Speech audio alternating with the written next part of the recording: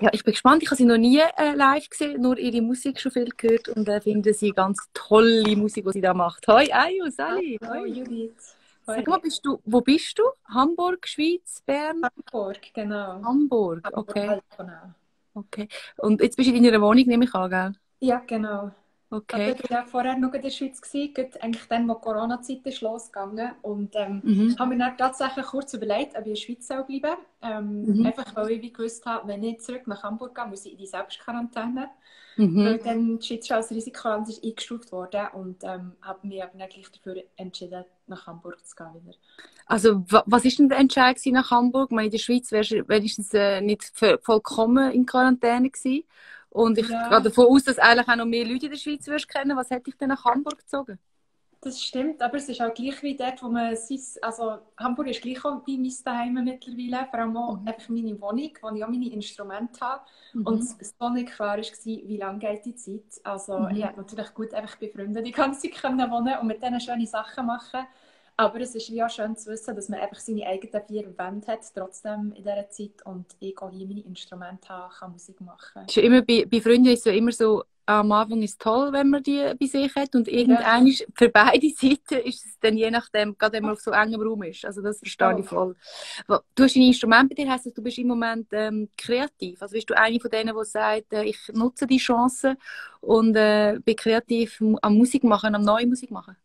Ja, also mal mehr, mal weniger. Es kommt ein bisschen darauf an. Also, Mhm. ich schreibe meistens die besten Lieder, wenn es mir schlecht geht. Und bis jetzt ist es mir zum Glück in dieser Zeit noch nicht mega schlecht irgendwie gegangen. Aber ähm, ich finde, wie, es ist im Prinzip ja ein bisschen, als würde man irgendwie neu mal für zwei Wochen auf, ein, auf das Land fahren und sagen, ich beschließe mich jetzt dort ein und mache Musik. Mhm. Also ich finde das noch speziell, dass man wie durch die Zeit jetzt irgendwie allein ist und sich ja, wie auch eingeschlossen ist und da wie jemand anruft und fragt, für etwas zu machen. Du bist ja wie, ja, also es ist ja wie, du bist ja eh daheim in deinen eigenen vier Wänden und kannst dich mega gut echt, äh, gezwungenermaßen abgrenzen. Mhm. Gell, Du hast davon gehört, dass du Best Talent bist, wo du schon in der Quarantäne warst. Bin ich da richtig informiert? Ja, genau, eine Woche äh, Quarantäne und dann ist der Anruf gekommen. Und das hat mich wirklich mega aufgestellt auch, weil so nach einer Woche bin ich wirklich also gewesen, hey, ich kann fast nicht mehr die ganze Zeit auch nur daheim sein irgendwie, nicht rausgehen und äh, ja, das hat mich dann mega aufgestellt. Ich habe dann irgendwie mega viel aufzugeben bekommen. Genau. Hat mega gefragt, dem ja. Also jetzt, äh, Best Talent Bands ist ja bei uns immer äh, damit verbunden, natürlich mindestens ein Live-Auftritt, auch noch im Studio, Mhm. dann auch ein bisschen online und so. Ich habe es auch verlinkt in der Story, wenn ihr mehr wollt wissen über dich, vor allem Musik hören, dann Mhm. hören.ch. Du kommst sehr häufig, speziell Mhm. natürlich jetzt in diesem Monat. Wie ist es das mit dem Live-Set? Du hast irgend, gleich, du, hast du bei dir etwas aufgenommen oder ich bin jetzt gar nicht ganz informiert, wie das läuft? Also, wir haben uns da ein bisschen Gedanken gemacht, wie wir das am besten machen und haben uns dazu entschlossen, dass wir, also wir haben es jetzt letzte Woche aufgenommen und in Hamburg ist aber ja noch die Regel, also in der Schweiz darf man irgendwie fünf Leute, glaube ich, treffen. Mhm. In Mhm. Hamburg sind es aber nur, du darfst immer nur zu zweit unterwegs sein Mhm. und wir sind eigentlich als Band immer zu dritt und ähm, dann haben wir uns halt überlegt, ob wir halt die Regeln sollen brechen, weil das ja in der Schweiz läuft und dann hat Aha, ja. Mhm. Schlagzeuger gleich ein bisschen Bedenken gehabt. Ich gefunden, ja, aber was, wenn es jemand sieht, das ist halt dann wie gleich aufgenommen. Und Mhm. darum haben wir das nachher jetzt zu zweit aufgenommen und einfach geschaut, halt, dass der Abstand gewahrt ist. Und ähm, ja, ich musste improvisieren, weil wir das jetzt so im Bandraum aufgenommen haben und nicht ähm, im Studio und dort nicht alles so schaudicht war. Man dort irgendwie auch Gleis von den Zügen gehört und es war eine Herausforderung, gewesen, weil wir das halt auch selber als nachher aufgenommen haben mit Kamera. Und, Aber gell, das gehört doch auch so ein bisschen in die Zeit, denkt es mir, oder? Es ist nichts, Ja. also so, es muss auch gar nicht perfekt sein im Moment. Es ist so perfekt. Also, spezielle Umstände. Wie ist denn das in Hamburg? Also wie wirst du kontrolliert? Also wenn du dritter unterwegs bist, wirst du gebüßt, oder was ist das? Wie ist das bei euch? Also ich merke es vor allem, ich gehe jetzt recht viel Velo fahren. Ich habe so Velofahren wieder ein bisschen für mich entdeckt, weil ich zum Beispiel joggen ist eigentlich gar nicht meins. Ich kann das Mhm. leider gar nicht. Und ähm, wenn man hier so ein bisschen Elbe entlang fährt, also ich wohne auch fast in der Elbe, dann merkt man recht schnell, dass irgendwo immer Polizisten stehen und schauen, Mhm. ähm, ob Autos kommen mit anderen Kennzeichen zum Beispiel. Weil es ist hier auch noch so, dass du wie nicht über die Landes-, also über die Kantonsgrenze in dem Sinn ähm, darfst wechseln. Du musst wie Ah, sogar. Mhm. wie ein Kanton selber auch, also das Land. Mhm. Mhm. Und ähm, ja, dort kontrollieren sie recht gross, halt, wenn mhm. du vom Schleswig-Holstein so oder so kommst, äh, wirst du abgebüßt. Und es ist noch lustig, weil hier natürlich eben einfach so Polizeischiff rumfahren und dann mhm. zum Beispiel so vor dem Elbstrand warten und schauen, ob sich irgendwie größere Menschenmassen irgendwie ansammeln. Mhm. Aber ich ja, habe niemandem gehört, der irgendwie krass gestraft wäre worden oder so. Mhm. Dann ist dein Kontakt zur Außenwelt vor allem äh, so wie jetzt mir, also, oder FaceTime, äh, Telefon und sonst bist du wirklich vor allem hauptsächlich in der Wohnung jetzt im Moment oder am Velofahren? Ja, vor allem. Also jetzt ja. am Wochenende ist die Leitung ein bisschen schlecht. Ich gehe davon aus, die EU wird das wieder herbringen. Ich habe gar nicht gefragt, ob sie 4G hat. Ah, jetzt bist du wieder da, genau. Okay. Ja, jetzt bin ich wieder. Ja, genau. Ja, ähm, ich habe am Wochenende zuerst mal zwei Freundinnen getroffen, also nicht gleichzeitig, die einen am Samstag, mhm. die andere am Sonntag und mhm. äh, da sind wir aber auch so ein bisschen mit dem Velo einfach außerhalb hergefahren, weil hier trotzdem mhm. die Parks so alle überfüllt sind natürlich. Mhm, genau, da muss man dann immer schauen. Wie ist das, was hast du für Reaktionen bekommen von, von deinem Umfeld auf äh, Best Talent? Also mega schön, in der Schweiz äh, mega cool, weil Freunde immer schreiben, dass sie jetzt auch vermehrt einfach in dieser Zeit am Radio hören sind und es eh schon toll mhm. finden, dass so viel Schweizer Musik auch läuft. Mhm. Und die, das wie mega, also die haben dann wie so das Gefühl, dass ich neben ihnen würde hocken oder so, wenn sie irgendetwas hören, was ich da uploadere. Mhm. Und, ähm, ja, mega positiv. Also viele Leute, die schreiben, sie eigentlich vorher noch nicht kennt und das ist mhm. auch schön. Das ist ja die Idee, gell, dass äh, ja. junge Bands oder, oder Musikerinnen und Musiker den Leute mhm. vorstellen, die man noch nicht so kennt. Wobei, man muss sagen, äh, der, der Dabu und der DJ Arts, die hatte ich schon kennt, die sind schon mit dir äh, auf Tour. Mhm. Wie ist das zustande gekommen? Oder wie ist das für dich auch? Ja, also zustande gekommen ist so, dass wir letzt, ist das letztes Jahr, ja, letztes Jahr zusammen am Viva Con Aqua Festival gespielt mhm. haben. Mhm. Und ähm, ich habe dann ihren Auftritt gesehen und mega gefunden. Also, weil ich sie vorher gar noch nie live gesehen und auch nicht so gut kennt. Und einfach die Live-Energie, also mhm. richtig krasse Liveband einfach auch. Ja, das finde ich ja. Mhm. super gefunden. Und ähm, ja, sie haben meinen Auftritt auch gesetzt, das habe ich aber gar nicht mitbekommen irgendwie dann. Und wir haben uns irgendwie ganz kurz im Backstage kennengelernt, aber sonst echt, also jetzt nie irgendwie Kontakt gehabt oder so. Und dann hat mir der Dabu geschrieben, jetzt Anfang Jahr, ob ich Lust habe, mit ihnen ähm, die Tour mitzuspielen. Mhm ich habe mich natürlich mega gefreut, weil ich gefunden habe, ja, also mega gern. Es war mhm. aber nicht so, gewesen, dass ich, ähm, weil die Konzerte ja immer am Wochenende stattfinden, also die ganze mhm. Tour war ja über einen Monat gewesen. Und dass mir das wie nicht ist möglich war, den ganzen Monat zu machen, weil ich eben in Hamburg lebe. Dass ich wie gesagt mhm. habe, ich würde mega gerne die halbe Tour mit, wenn das mhm. auch ist. Und das haben sie dann auch super gefunden. Und wie ist das so mit diesen Buben unterwegs zu Also sie sind mega nett, ich kann gar nichts sagen. Wir haben uns mhm ja, würde sagen, sehr schnell und mega gut verstanden. Also mhm. sowohl äh, der DJ Arts als auch der Dabu sind mega cool. Das sind ganz tolle. Mhm. Ja, und aber auch die ganze Band ist, mhm. also Schlagzeuger, Bassist und der Lichtler, der Tonmann. Mhm. Die mhm. alle mega, ja, ist eine mega tolle Gruppe. Es fängt, mhm. man kann ja, der Dabu ist auch einer, der sehr viel neue Musik entdeckt. Und das finde ich immer so mhm. lässig. Wenn auch Musik, bist du auch so jemand, der auch äh, Musik, also neue, frische Musik überall so ein zusammensucht und entdeckt? Äh, ja, ich bin sehr gerne auf Soundcloud unterwegs, mhm. weil ich den Spotify-Algorithmus immer ein bisschen schwierig finde, weil dort einem doch relativ viele Sachen vorgeschlagen werden, die irgendwie auch von Mädchenlabels oder so kommen. Mir werden dir immer drei Fragezeichen Kids vorgeschlagen. Kannst du dir vorstellen, warum?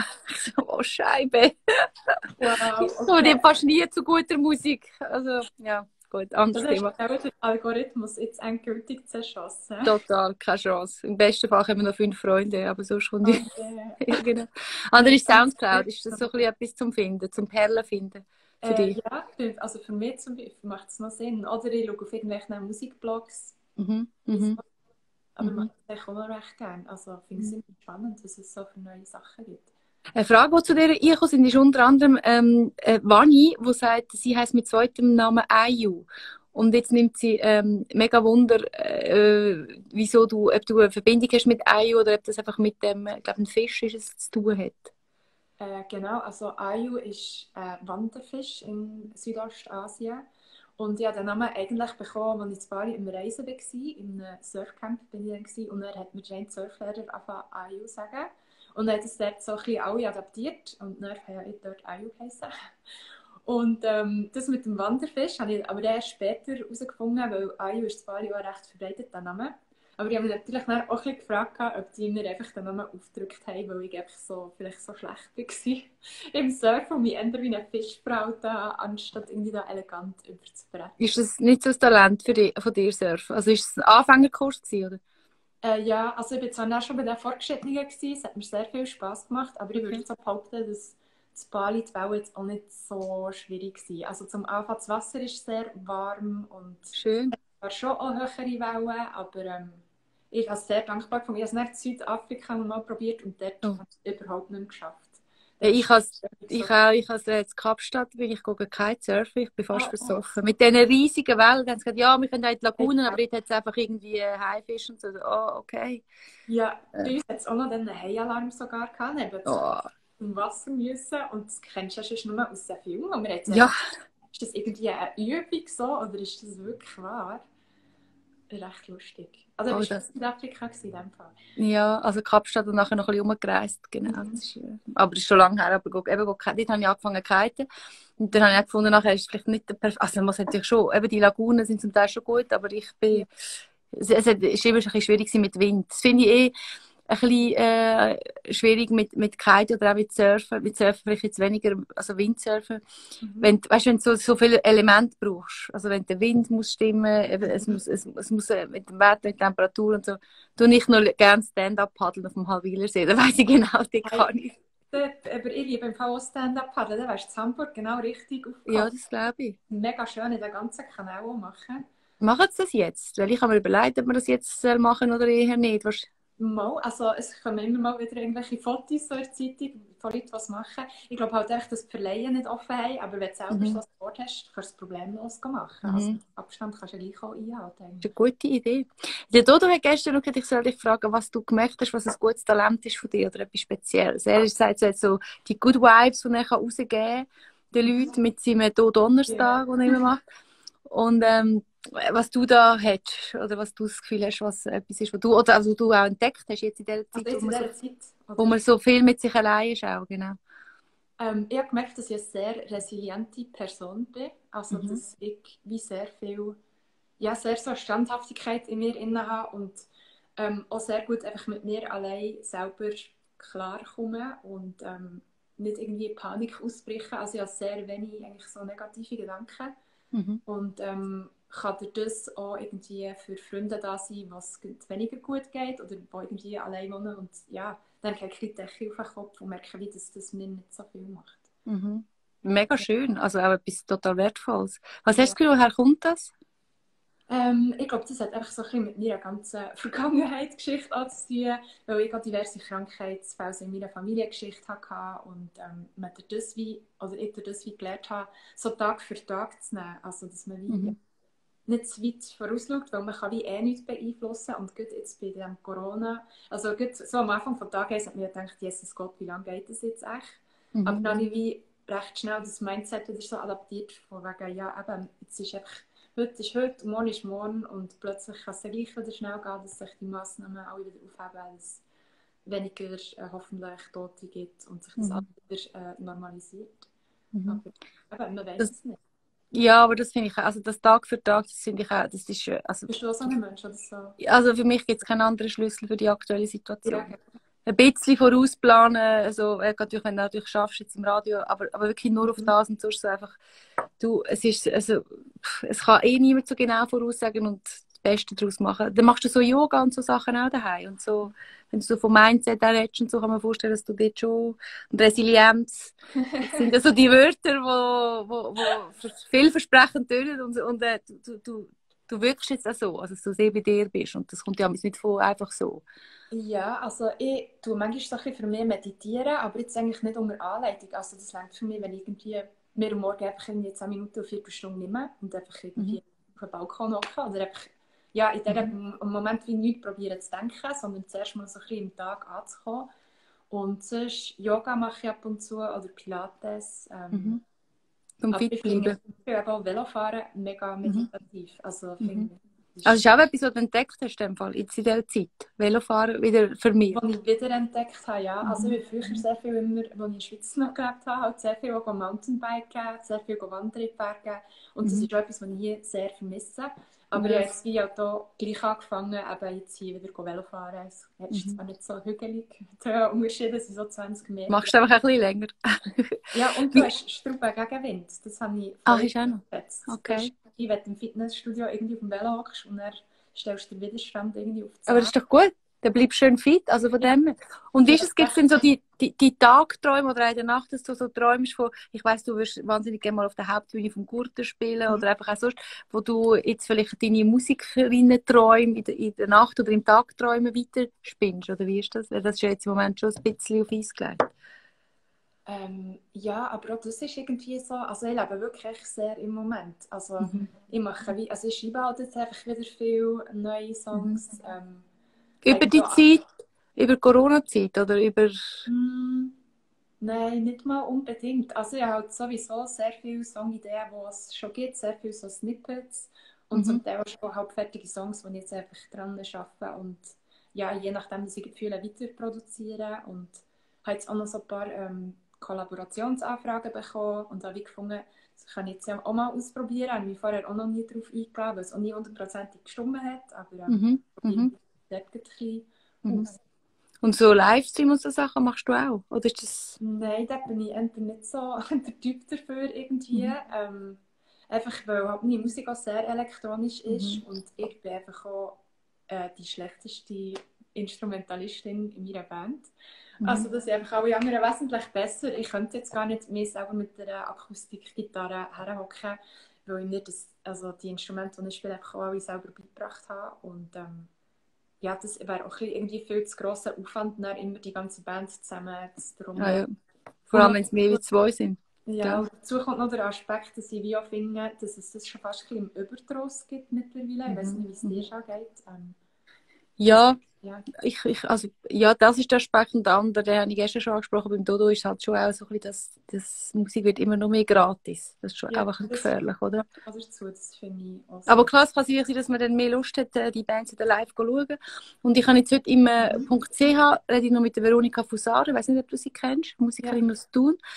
Und äh, sie macht jetzt dort mit, es ist so ein Berner Oberländer ähm, Bierbrauer, Bierbrauerei, wo seit äh, drei Wochen immer am Mittag oder am Donnerstag eine Schweizer Musikerin spielt. Mhm. Und dann in dieser Zeit, äh, alle Leute, die in dieser Zeit äh, irgendwie Produkte bestellen, von ja. denen gibt es 30% an Künstler.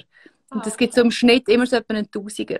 Mhm. Das finde ich eigentlich noch so etwas so, wenn sich so Branchen, meine, gerade der Bierbranche geht es ja auch nicht besonders gut, ja. mit, der, mit der ganzen Gastronomie, die ausfällt, und Musiker so verbinden, das finde ich eigentlich noch, also ich glaube, es gibt ganz viele spannende Geschichten, was da gibt, aber man muss sich schon gut überlegen, was, äh, was macht man und was bietet man auch. Ja, das Oder? stimmt. Aber es gibt ja viele schöne Ideen und bei mir ist es jetzt so, dass die Anfragen für Livestreams, die ich bekommen habe, eben so war, ja, es gibt nichts dafür und es wäre zum mhm. Teil noch ein riesen Aufwand gewesen, also dass man zum Teil noch in, in so eine, zum Beispiel so eine Halle müssen fahren und sich dort dann aufstellen und ich dann meinen Musiker auch nichts kann zahlen wenn ich dafür nichts bekomme. Aber ich will mhm. ja die dann irgendwie auch entschädigen, das finde ich mhm. nicht fair. Ähm, mhm. Ja, aber eben, das finde ich zum Beispiel auch eine schöne Idee, wenn man jetzt mhm. einem Unternehmen damit helfen kann und sich gegenseitig kann unterstützen kann. Mhm. Dann finde ich auch nicht eine schlechte Sache, natürlich. Ich, ich rede heute auch noch mit dem Trummer, Christoph Trummer, der äh, im Vorstand ist vom Verein Schweizer Musikschaffenden. Ja wo eben, ich meine, das ist de definitiv ein Thema, oder? Wo man sich halt auch äh, einerseits als Zuschauer, als Genüsser von der Musik äh, wirklich halt muss bewusst sein, aber auch als Musikerin, Musiker selber, oder? Was, äh, was auch die Auswirkungen sind und was man will und, und äh, ja, dass man einfach auch nicht alles immer nur gratis kann geben, so ein bisschen das Ding. Wobei du ja sicher Musik aus totaler Leidenschaft machst, was nichts mit dem anderen zu tun hat, ja. oder? Du, du bist ja, oder wieso, wieso machst du Musik? Ist das ein Ventil für dich? Oder ist das etwas, was du einfach musst machen oder, oder wie ist das äh, zu dir gekommen? Also, was ich muss machen, ich finde so, ich bin glaube ein Mensch, ich habe sehr viele verschiedene Interessen und mhm. ich könnte glaube ich recht viele verschiedene Sachen machen, aber wenn ich mich wie so auf etwas einschieße oder ja, für mich ist einfach, ich habe schon seit Kind immer Musik gemacht, viel gesungen und das ist schon für mich ein natürliches Ventil irgendwie. Also es ist glaube ich die Kunstform, die ich mich wie im natürlichsten kann darüber ausdrücken kann und auch zum Beispiel beim Songwriting, also dass ich eigentlich fast immer autobiografische Texte schreibe mhm. und ich fast immer über Sachen, wo ich eben sonst anders gar nicht kann, irgendwie, ich kann nicht darüber reden oder so. Weil mich mhm. so beschäftigt, dass ich es wie nur über die Musik ähm, ja, kann, kann rauslassen Und ähm, ja, darum ist das für mich wie klar gewesen, dass ich das auch früher oder später ein bisschen ernster muss nehmen. Mhm. Ähm, ja, aber wer weiß. Also ich bin eben auch so sehr im Moment, dass ich immer finde, keine Ahnung, weil ich zwei Jahre keinen Bock mehr auf Musik Also du hast in Fall auch so, so eine, eine Zuversicht, oder? Du machst dir gar nicht Gedanken, wie das gross wie das könnte sein, oder? Nein. Was nicht könnte sein, dann mehr. Was wäre denn dein zweitbeste Talent? Oder dein zweitliebste Talent? Das ist sehr schwierig. Ich koche sehr gerne. Ah, aber ob ich das jetzt hauptberuflich machen will, ist die andere Frage. Aber das wäre mhm. nicht schlecht. Aber es ist ja gut, wenn du jetzt in der jetzigen Zeit gerne kochst. Das ist ja sicher ein Vorteil. Ich glaube, da sind ganz viele so ein bisschen, noch ein bisschen am äh, sich verbessern im Moment, inklusive ich. ist, ähm, ja. Man kocht einfach viel mehr. Ja. Ich lerne jetzt auch ständig irgendwie neue Rezepte dazu. Und ähm, ich finde das eben auch so etwas Meditatives. Irgendwie, es ist so entschleunigend. Und das finde ich in dieser mhm. Zeit jetzt auch so schön, dass man so viel, also mhm. dass sich mehr Zeit nimmt für Sachen, mhm. wie eben zum Beispiel, wenn man schon irgendwie mega Stress hatte, schnell etwas kochen, weil man dann wieder aus dem Haus wollte und einfach vorher auch schon keine Zeit hatte, mhm. äh, überlegt man sich jetzt viel krasser, auch schon, weil du irgendwie weniger gehst einkaufen, dann machst du mhm. so fast eine Woche Ja, oder Kantine, die Restaurants zu sind, genau. Und dann finde ich auch noch ja. irgendwie noch spannend. Im Moment hat man sowieso, also ich habe auch den Ehrgeiz, jetzt nicht einfach die zehn Menü, die ich so schon immer mache, zu machen, sondern einfach mal, jetzt ist der Moment, weil ich finde ja dort, hey, wenn es in die Hose geht, komm, easy, was ist ja nichts, also ist voll, voll okay, man hat ja Zeit, dann koche ich halt nochmal etwas. Irgendwie so, oder? Und ja, das, das, das finde ich schon auch noch, finde ich etwas Spannendes, wirklich. Das ist, äh... Und backen tust du dann auch? Äh, ja, halt so Brot, aber ähm, ich muss sagen, im Backen bin ich schlechter als im Kochen. Mhm. Ich weiß nicht, weil beim Backen muss man sich ja immer sehr genau meistens an die Rezepte halten, oder mhm. zumindest habe ich das immer das Gefühl. Mhm. Und irgendwann mag ich so ein paar Sachen ein bisschen Handgelenk mal machen und dann ist es einfach also eigentlich habe ich so ein Brot gemacht mit so Chiasamen und dann einfach zu viel Chiasamen und von den anderen Sachen zu wenig und dann ist das einfach so wie, es war wirklich ein Essstein gewesen. Also, hey, äh, eine Kollegin von mir ist Bäckerin, gelehrte Bäckerkonditorin und hat mir gesagt, das ist das, was immer so nervt, dass so Hobbybäckerinnen, wie jetzt eben zum Beispiel ich, das Gefühl habe, ich habe noch ein bisschen verfeineres Rezept und ja. eigentlich gibt es genau Gründe, warum es genau, ich bin also, ich finde so, jetzt da noch ein bisschen da das ist sicher noch ein bisschen, komm, ich nehme lieber noch ein bisschen weniger von dem, dafür ein bisschen mehr von, ja. Aber eigentlich ist es ja klar, es, äh, es gibt Gründe. Hey, was ich spannend finde, ist, dass ähm, Boy, ähm, Sonja und Valeska sind ja auch mal Best Talent bei uns und, und mhm. die haben dich ein, ein Stück weit inspiriert oder zumindest auf Hamburg gebracht, oder? Ja. Ein bisschen mitschuldig. Inwiefern? Ähm, insofern, dass ich einen Artikel gelesen über See, also in der Schweiz irgendwie, und dort eben drin gestanden ist, dass ich die im Hamburger Popkurs lernen kennen. Mhm. Und nachher hat mich das einfach halt irgendwie wundern was das ist, und habe das irgendwie gegoogelt und nachher sind ein paar Klicks weiter und nachher habe ich mich dort einfach beworben, also man hat sich dort können bewerben und es ist irgendwie ja, Ende Dezember auch und irgendwie die Deadline war Ende Dezember gewesen, und es ist so ein Kurs, der zweimal drei Wochen geht, das findet mhm. jedes Jahr statt ähm, ist irgendwie drei Wochen im März und drei Wochen glaube ich, im August. Und dort werden so 60 Musiker schlussendlich in einen Topf geworfen, irgendwie aus Deutschland, der Schweiz, Österreich. Also ich weiß gar nicht, in anderen Ländern kann man sich auch bewerben, aber man kennt sie mhm. einfach nicht. Und dann kannst du dich dort ausprobieren. Und ähm, ja, ich habe vorher einfach meine Musik immer noch so ein bisschen für mich gemacht. Und mhm. dann habe ich gedacht, ja, warum nicht? Vielleicht finde ich ja dort irgendwie plötzlich die Leute, die das mega cool finden. Und bin dann dort aufgenommen worden zum Glück. Und das hat ja echt den ganzen Weg von mir dann schon recht verändert, weil ich dort tatsächlich Leute gefunden habe, die gefunden haben, dass das eben mega cool ist, dass meine Lieder auch so ganz unterschiedlich und unabsehbar sind, manchmal was passiert.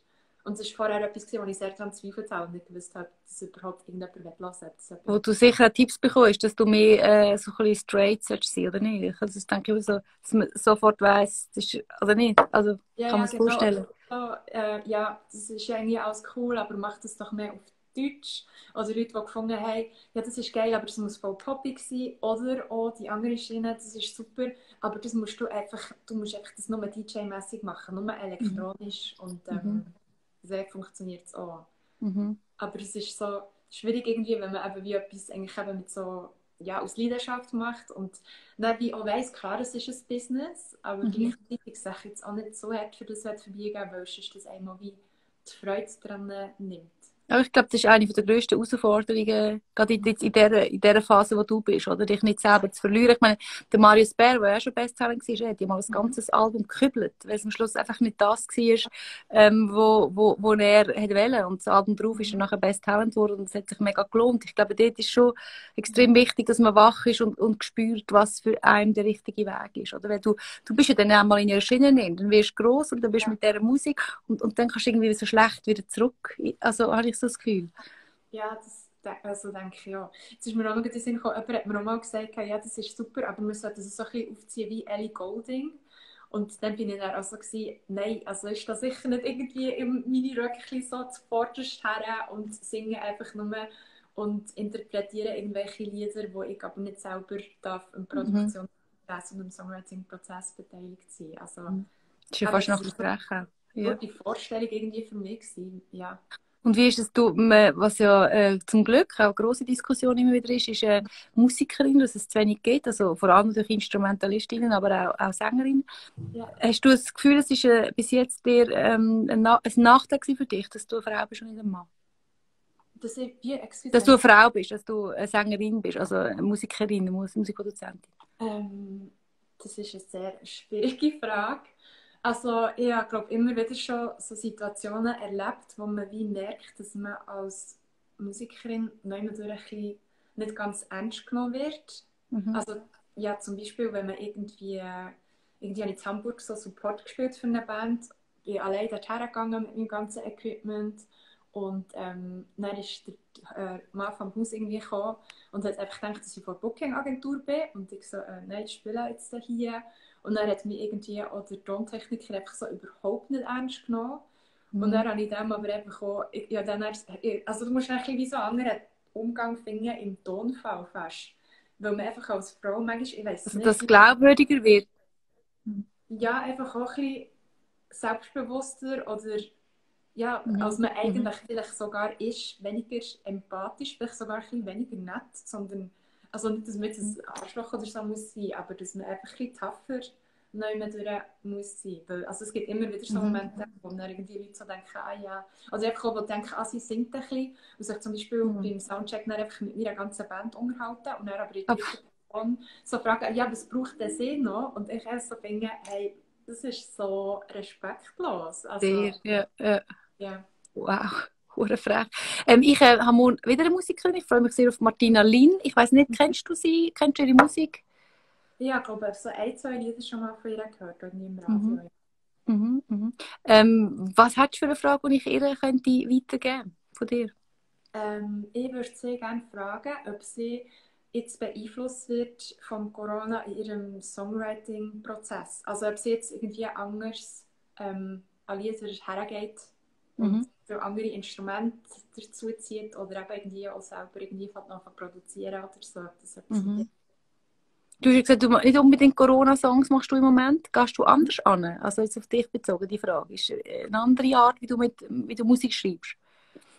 Ähm, das ist auch eine gute Frage. Nein, wahrscheinlich nicht. Ich bin einfach ein Mensch, der ich kann eigentlich schlecht irgendwie sagen, heute schreibe ich einen Song, ich hocke jetzt her und mache einen Song. Das funktioniert bei mir gar nicht. Da stellt bei mir irgendwie alles ab. Mhm. Ähm, darum bin ich zum Beispiel auch nicht ein Mensch, der so in so Songwriting-Camps oder so gehen kann. Ich habe das irgendwie einmal gemacht und es sehr anstrengend gefunden. Also einfach, weil auf Punkt jetzt muss schreiben, also das geht nicht. Es muss, muss, muss zu dir kommen, oder wie meinst du es geht nicht?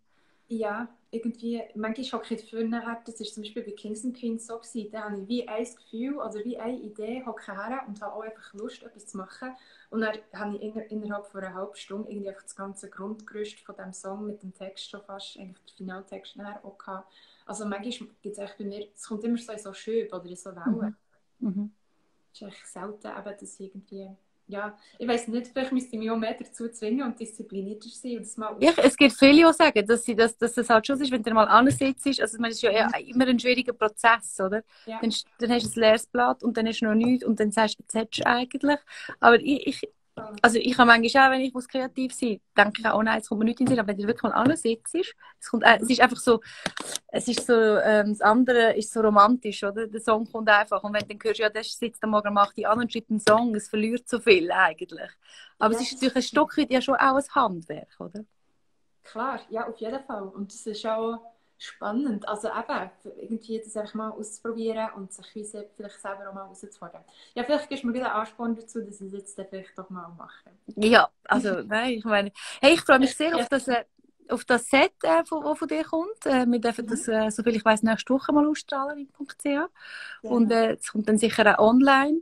Ähm, was wünschst du dir noch? So, sagen wir es gerade jetzt von uns äh, als SRF 3, als Radio, wir, die sagen, wir schreiben uns ja fest auf die Fahne, dass wir die Best Talents sehr unterstützen mhm. und ähm, so ein bisschen auf ein Podest in, in, in, Scheinwer in Scheinwerferlicht stellen. Was ist etwas, was du dir noch würdest wünschen von einem Partner wie jetzt uns in dem Monat, wo du Best Talent bist?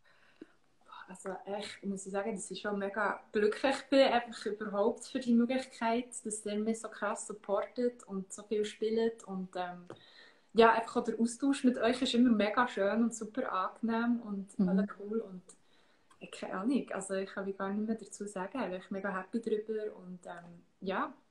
Ja, wir auch. Wir hoffen, dass wir wieder schon gleich, gleich ganz viele Live-Konzerte können äh, erzählen wo du wann und wie spielst.